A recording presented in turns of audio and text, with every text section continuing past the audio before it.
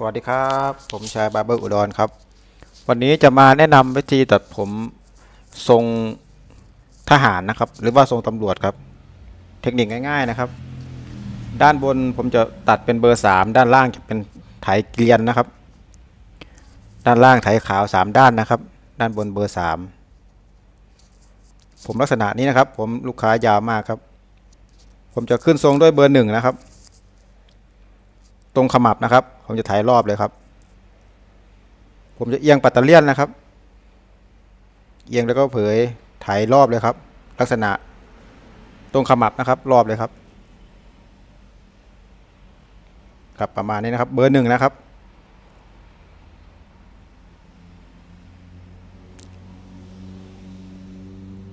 นี่ครับถ่ายประมาณนี้ครับถ่ายให้อยู่ในเกณฑ์แบบทรงนักเรียนนั่นแหละครับ เทคนิคเดียวกันครับทรงนักเรียนทรงทหารทรงตำรวจครับ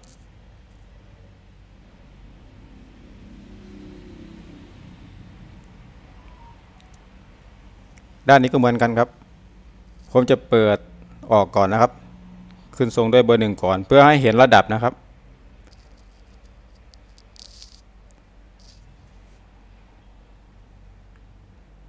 เนี่ยครับ ระดับตรงขมับนะครับ มารอบเลยครับ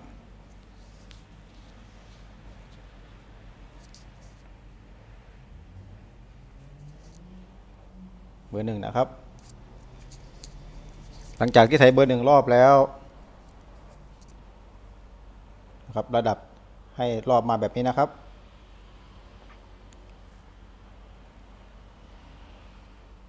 หลังจากได้ระดับแล้วผมจะไถด้วยเบอร์ศูนย์นะครับถ่ายให้ต่ำกว่าระดับขาวๆนะครับ ด้านบนแล้วก็เผยนะครับ ดูนะครับ นะครับ ให้ได้ได้ระดับนี้แล้วก็เผยเลยนะครับ อย่าเอาสูงขึ้นไปปื๊ดเลยนะครับ เผยนะครับ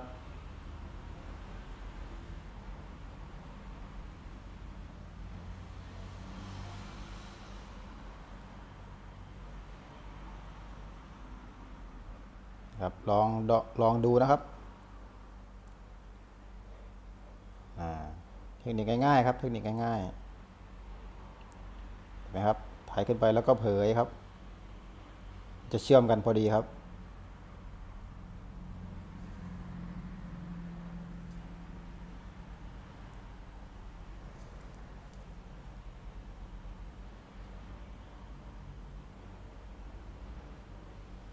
ครับถ่ายเบอร์ศูนย์รอบเลยครับ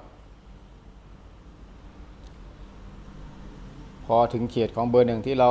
ถ่ายไว้ก่อน แล้วก็เผยมือขึ้นนิดนึงนะครับ ยมือขึ้นมันจะก็จะกลมกลืนกันครับ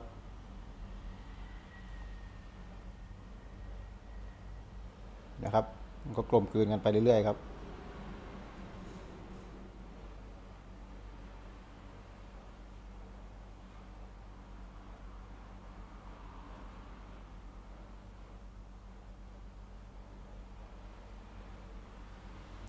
ลักษณะเผยนะครับ เผย เผยเห็นไหมครับ ถึงเขตของเบอร์หนึ่งที่เราถ่ายไว้เราก็เผยมือขึ้นไปครับ มันก็จะไปเชื่อมกับเบอร์หนึ่ง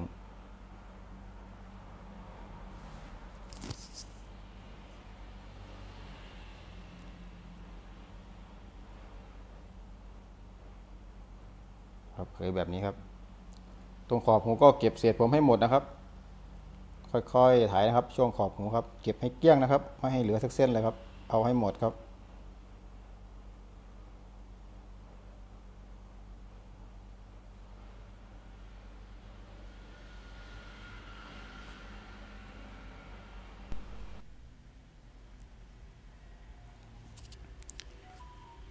งจากที่เราไถเกลี้ยงแล้วนะครับ เราก็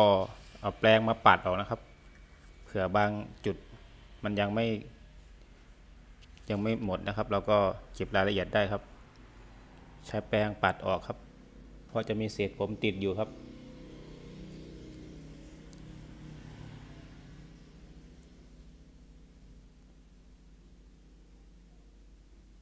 นะครับ พอ ด้านข้างได้แล้วครับ ผมจะใช้ด้านบนนะครับ ด้านบนผมจะใช้เบอร์สามนะครับ เบอร์สามไถออกนะครับ ไถออกให้หมดเลยใช้เบอร์สามนะครับ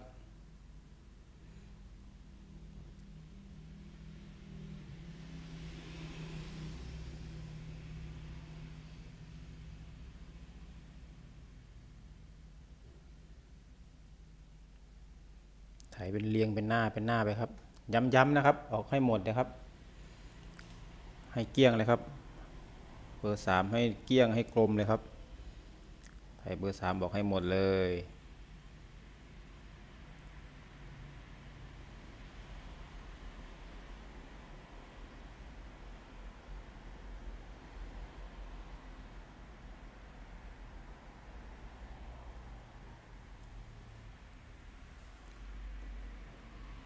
ทรงนี้จะตัดเทคนิคเดียวกันนะครับ กับทรงนักเรียนแล้วก็ทรงรอดอ แล้วก็ด้านบนเบอร์สามด้านข้างเกลียนนะครับ ทรงเดียวกันครับ ทรงตำรวจก็ตัดแบบนี้นะครับทรงนักเรียนก็ตัดเทคนิคนี้นะครับ แต่ว่าทรงนักเรียนจะไว้ด้านหน้านิดนึงนะครับ ด้านหน้าประมาณ3เซนนะครับทรงนักเรียน แต่อันนี้เราไถด้านบนเท่ากันหมดเลยครับเป็นเบอร์3ครับ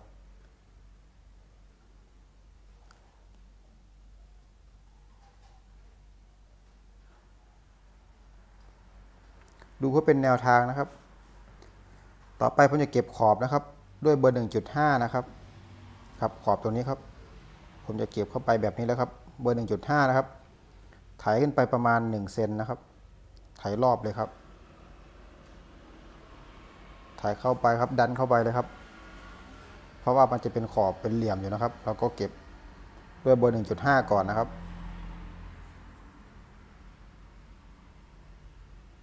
ครับไถเข้าไปแบบนี้ครับไถเข้าไปรอบๆเลยครับ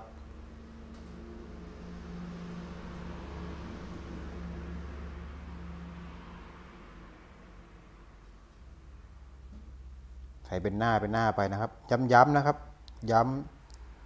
ำ พอมันนวลแล้วเราก็ขยับไปเรื่อยๆนะครับ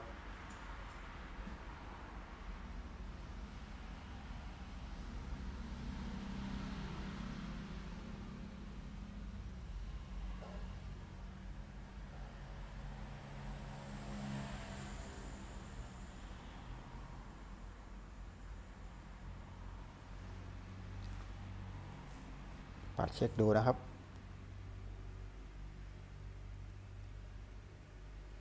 ใกล้จะสวยแล้วครับ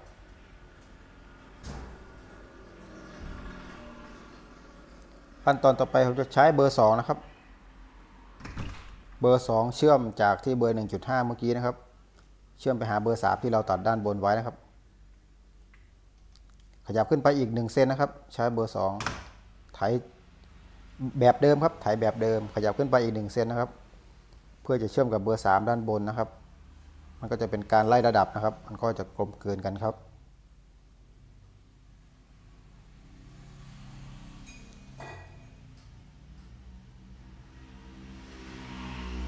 หลังจากถ่ายเบอร์ 2 แล้วผมจะใช้เบอร์ 0.5 นะครับ มาเก็บอีกรอบนึงนะครับ เก็บรายละเอียดนะครับ ตรงไหนที่มันไม่กลมเกินแล้วก็ ใช้เบอร์0.5เก็บนะครับ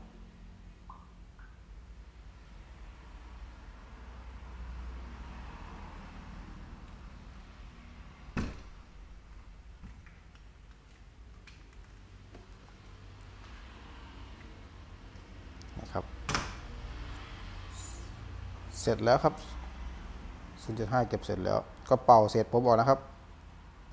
เป่าเสร็จผมให้ลูกค้าเป่าออกเท่าที่จะเป่าออกได้นะครับ ออกเยอะเท่าไหร่ยิ่งดีนะครับ ออกได้หมดยิ่งดีครับ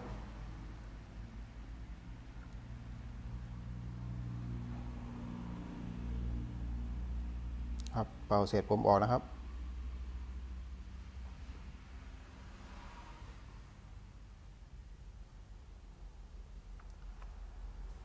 ขั้นตอนต่อไปก็กันด้านหน้านะครับ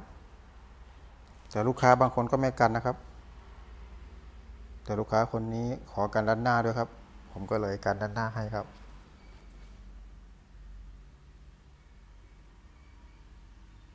ถ้าคนไหนไม่กันก็ประมาณนี้ก็เสร็จแล้วครับ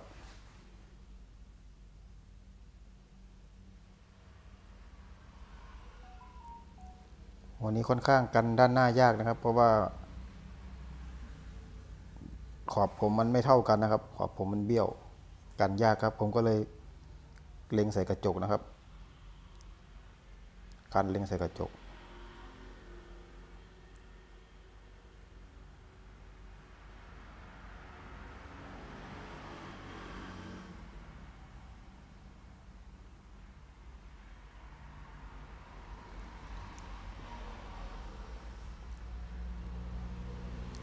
เทคนิคกันด้านหน้าให้ตรงผมก็เคยทำคลิปไว้ให้ดูแล้วนะครับ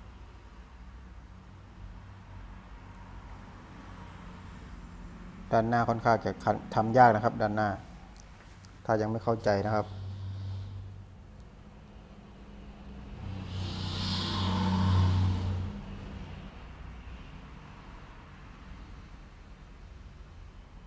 ตัวไหนไม่นวลแล้วก็สามารถใช้บีครับ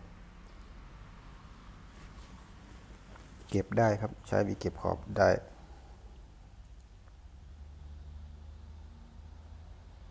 หัวนี้กันด้านหน้ายากมากครับหัวนี้เพราะว่าขอบผมมันไม่เท่ากันครับ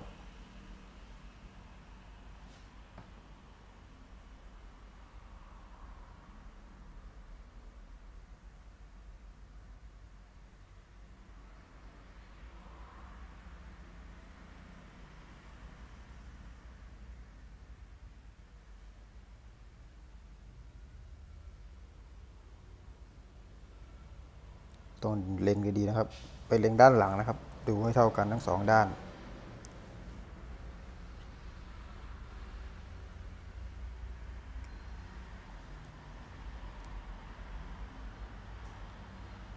ถ้ามีหัวแบบผมก็จะลงคลิปให้ดูเรื่อยๆนะครับ เพราะว่าช่วงนี้ไม่ค่อยมีหัวแบบนะครับ ลงเทคนิคการตัดง่ายๆนะครับ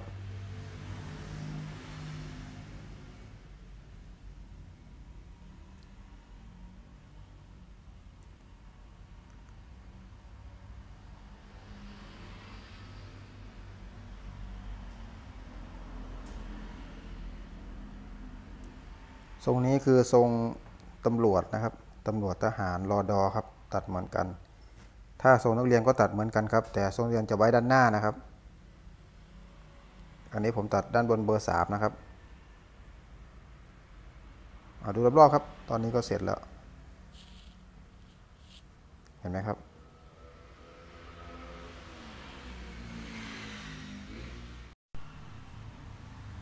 ก็ประมาณนี้นะครับ สำหรับคลิปนี้ฝากไว้แค่นี้ครับ สวัสดีครับ